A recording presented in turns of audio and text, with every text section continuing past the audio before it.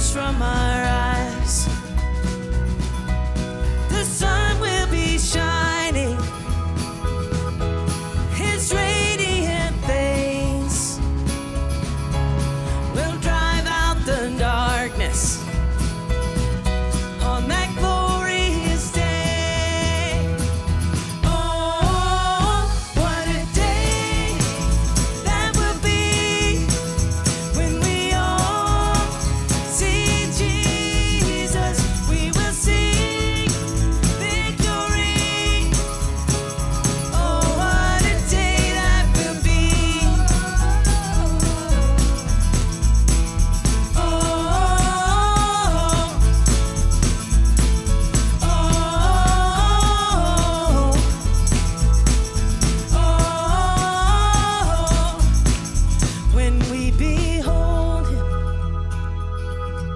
His beauty we see